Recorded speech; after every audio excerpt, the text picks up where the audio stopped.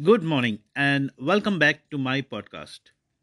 This is George Nathaniel for you.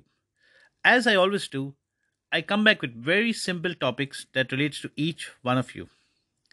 Well, today there's been a special request from one of my listeners who came in, came in with this topic called Is calmness easy and is calmness possible? Well, I took up the topic and relating, to my own life, I made a couple of points and would be happy to share them with you. So, coming back to the topic, calmness is not easy but possible. Yes, calmness is not easy but possible. Let me share something that my father always told me. My father said, What's in store cannot be ignored. Accept the truth and find a fa- passage through. Well, these simple words made a big difference in my life. Difficulties is a part of everyone's regime, but we need to live.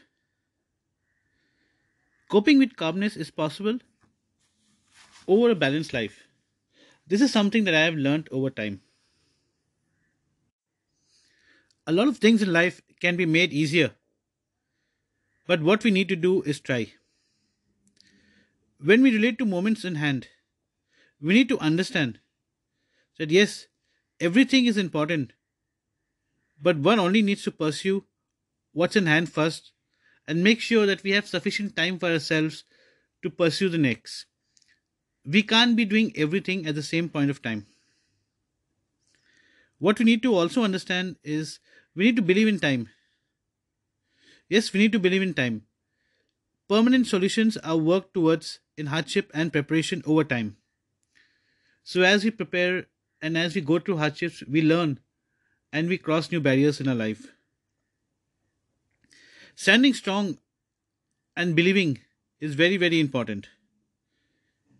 My father always says, every beginning has its end. And what we need to do is keep working towards betterment. What we should also understand is mindset is the key. We need to start building a very, very strong mindset if we want to control our calmness and if we want to believe that calmness is possible. I can't really talk too much about it, but what I can do is share my real time experiences, share my routine of how I control calmness in my life. So, what I exactly do is maybe uh, these could be the pointers for today. What I actually do is I manage a daily routine. So, my daily routine is managed around time and planning, priorities and actionables. Most importantly, I try to balance my life. I live my life I make every moment count. And most, most importantly, I do not get stuck onto anything. So I think these five pointers, I practice them diligently every day. So each one of us can make our own daily routine. Each one of us can make our own checklist. And each one of us can all work towards making calmness possible in their lives. There are difficult moments, there are difficult times, there are difficult situations, there are difficult circumstances. But as we always know, or as we all know, we've been told over time, we've experienced this, nothing lasts forever. So there is a silver lining in every tough moment.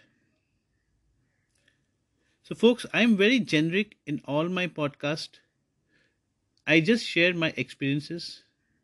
I share my learnings. I share what I go through. What is important is to understand how each one of us can adapt over our personal lives, over our professional lives, over our wellness, how we can be contributors. And like I said in the beginning of my podcast, calmness is not easy, but yes, it is possible. And relating to what my father said, I would like to share it once again. He said, What's in store cannot be ignored. Accept the truth and find the passage true. So, folks, as we find the passage true and as we believe that calmness is possible, let us make our lives even better. Let us work towards betterment all across. I hope you like listening to my podcast, which is available on all platforms. And do visit my website, which is georgenathaniel.net. Come and send in a request, and I'll be more than happy to research and share my experiences. Nobody is perfect, but yes, what we can do is share our own experiences or our way of life. And as we share our experiences, we share our learnings. I'm sure this could be eye openers for each one of us. And like I always say, we need to, we need to be contributors in life. I contribute in my own way, and I encourage each one of you to contribute in your own ways in making life better, in making people's life better, in making our environment better. I wish you all a wonderful time ahead. This is George Nathaniel. Thank you so much, and have a lot of a lot of good times ahead. Plan those good times ahead, and wish you a wonderful moment. Thank you so much.